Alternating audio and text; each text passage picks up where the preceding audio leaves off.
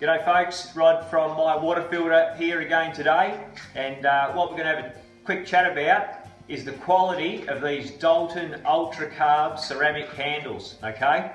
Just an amazing little uh, invention. Doulton, been making these maybe for about 185 years, something like that. So you can assure that after that amount of time, they're getting pretty good at it, okay? So, a couple of things. It's ceramic, and it's it'll break, all right? So even when it's in the box, you can't just go dropping it down or anything like that, all right? Be gentle on it, respect it, treat it like an egg. That's probably the best way.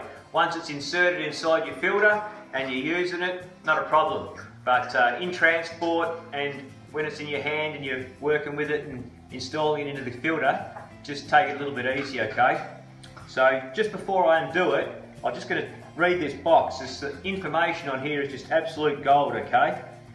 The efficiency of this filter, 99.99% for bacteria, cysts and particles, all right?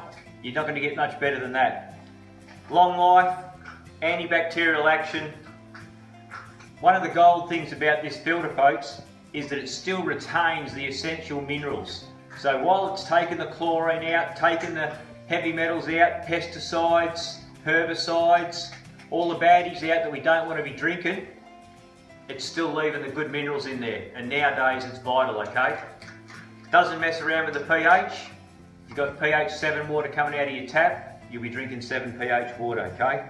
No electricity, just runs off the water power. So here we go. Nice and gentle, take him out the bag, Okay.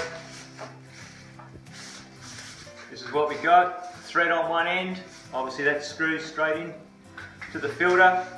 We've got some instructions in there as well.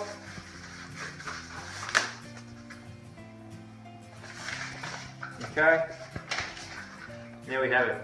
A few details. What to do.